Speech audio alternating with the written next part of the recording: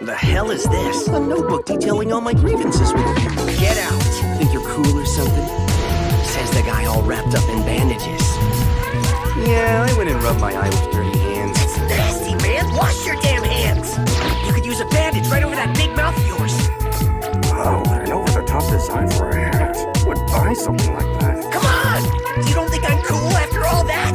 I'm amazing! Do you put lemon on the karaage without asking? My life sucks. That's just petty. I also have 26 more volumes archived at home. Why don't you just say all that stuff to my face?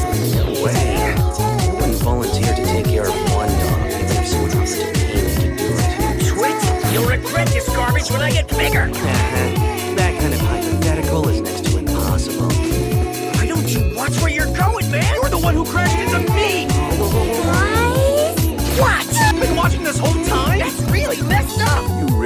The best of friends, aren't you?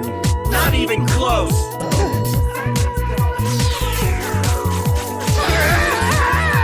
Why do we have to be right next to that group of all people?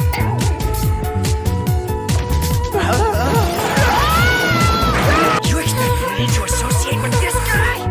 Not on my watch, we're not. Come on, we're getting the hell out of here. After this drink.